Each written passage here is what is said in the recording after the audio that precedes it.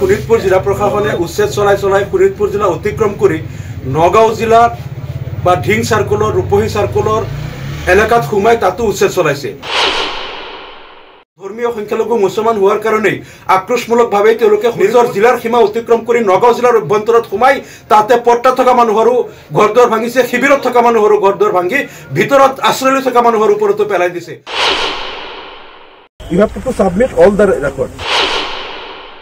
যি এলেকাত উচ্ছেদ চলিল মই নিজে সেই এলেকাবিলাক ভ্ৰমণ কৰি এইমাত্ৰ আহিলোঁ।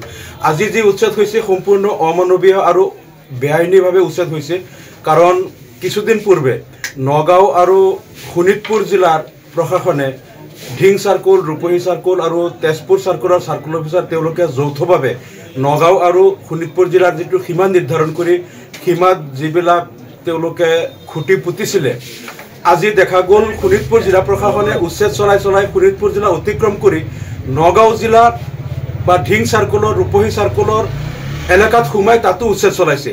আৰু যিটো আমাৰ ঢিং চাৰ্কুল ৰূপহী চাৰ্কুলৰ চাৰ্কুল অফিচাৰে প্ৰতিবাদ কৰিছিল যে এইটো আমাৰ ঢিং চাৰ্কুল বা নগাঁও জিলাত পৰিছে তথাপিও তেওঁলোকৰ কথা অমান্য কৰি শোণিতপুৰ জিলাৰ প্ৰশাসনে বা তেজপুৰ চাৰ্কুল অফিচাৰে লগত থাকি তেওঁ ঢিং চাৰ্কুল এলেকাৰ ভিতৰত আহি উচ্ছেদ চলাইছে।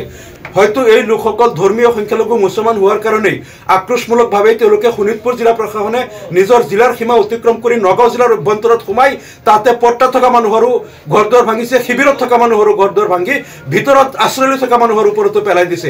এই যে তেওঁলোকে অমানৱীয় অনৈতিক কাম কৰিছে আমি তাক ধিক্কাৰ জনাইছোঁ। আৰু যিজন চাৰ্কুল অফিচাৰৰ নেতৃত্বত এনে অমানৱীয় কাম হৈছে। মুখ্যমন্ত্ৰী মহোদয়ক আমি আহ্বান জনাইছোঁ চাৰ্কুল অফিচাৰক অতি সোনকালে চাকৰিৰ পৰা বৰ্খাস্ত কৰিব লাগে আৰু তেওঁক গ্ৰেপ্তাৰ কৰিব লাগে আৰু শিবিৰৰ ভিতৰত আশ্ৰয় লৈ থকা মানুহৰ ওপৰত শিবিৰ ভাঙি জে চি বি লগাই তেওঁলোকক গাৰ ওপৰত পেলাই দি আহত কৰাৰ কাৰণে এজন লোক কমাত আছে তেওঁ বৰ্তমান আই চি ইউত থকা বুলি আমি খবৰ পাইছোঁ।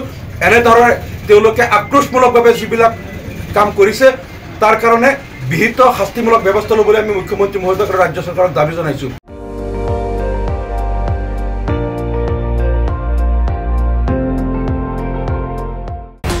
আপুনি চাই আছে এন ডি টুৱেণ্টি ফ'ৰ।